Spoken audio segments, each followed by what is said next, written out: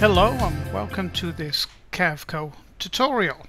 So what I'm going to do today is take a high resolution picture it's actually a high resolution drawing and bring it straight into Carveco and make a 3D relief out of it a very high resolution graphic so you can engrave into something like a piece of aluminium plate and this can be carried out in any of the Carveco programs whether it be Carveco Maker, Carveco Maker Plus or this uh, Carveco the main program. So what I'm going to do is just pull this aside and here's a subject matter here. I'm just going to drag and drop it straight into Carveco.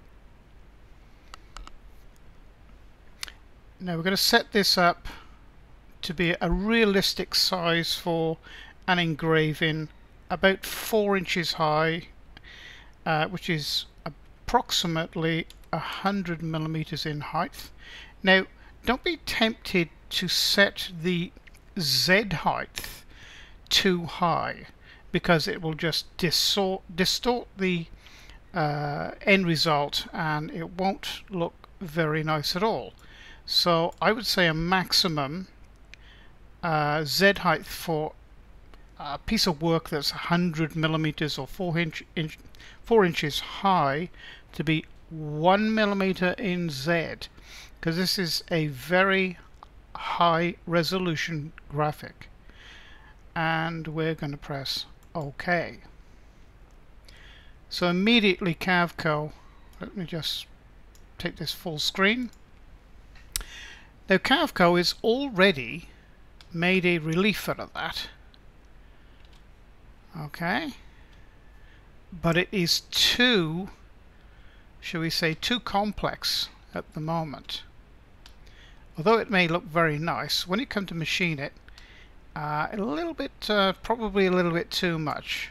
So what I'm do actually doing to move this on the screen is I'm pressing down the scroll wheel. That'll sort of rotate it around so you can have a look. And if you want to move it bodily on the screen, press left, left and right mouse key together and you can move it around.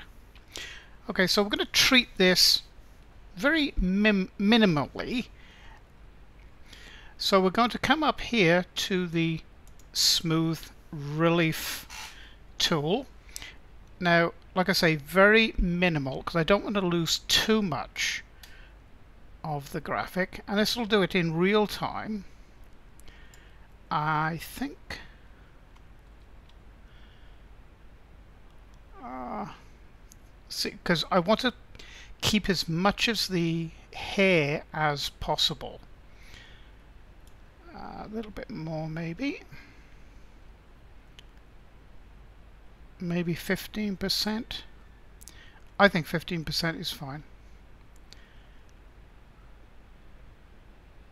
Possibly go a little bit more because it's going to take quite a while to actually engrave this. Maybe 20%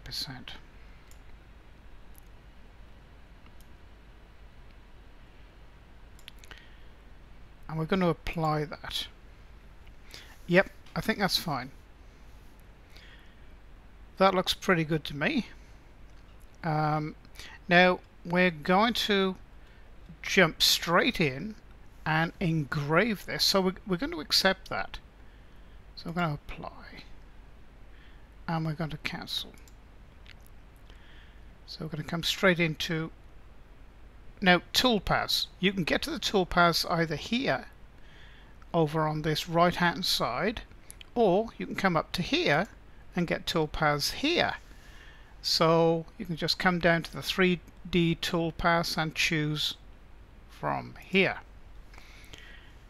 Um, we're going to do the whole relief and it's just a one finishing tool. We're going to use a conical tool we're going to use a 0.1 millimeter conical tool and we're going to select that.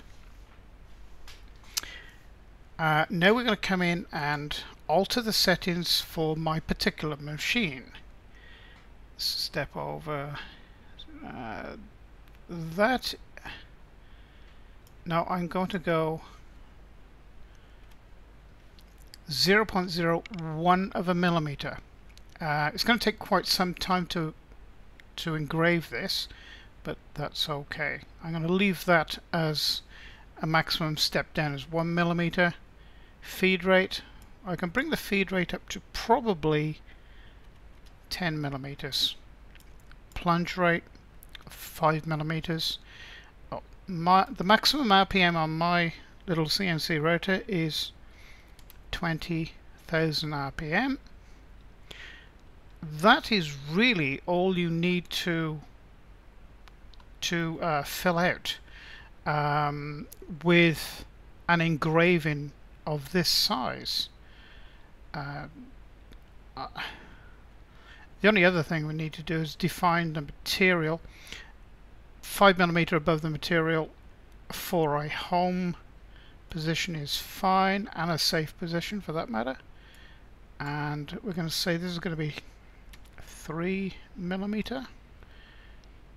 And now we're going to OK that you notice that this has changed now to a, a different color. Um, this is now telling indicating that uh, Carveco has defined the material. So we're just going to say this is um,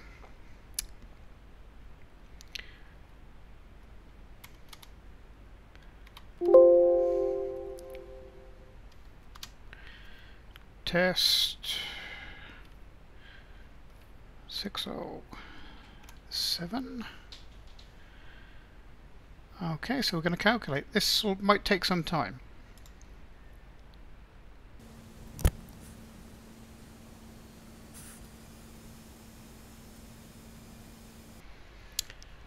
Okay so as you would expect uh, you you'll never be able to see the individual lines of um, of the actual engraving from the tool because it's that fine together. So we'll do a quick and we'll do this fast because otherwise the simulation will take quite some time. Probably two or three minutes if I allowed it to go at standard rate. So I'm going to say OK boom Okay. And it says quick and easy as that. That would be an absolute beautiful etching. And of course all you need to do now is to uh, you know post the code into whatever uh, medium that you require. So it's um, test and it's um, 607 and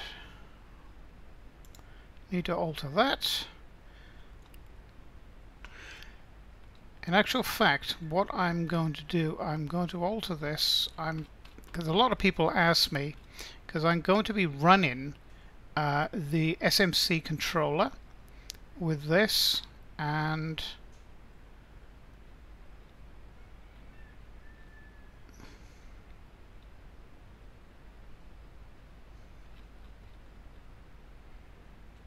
G. Here we go.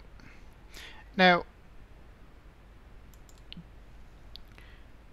G-code millimeter tap is the code that runs with the SMC controller without any trouble whatsoever desktop and save. This is a very big code.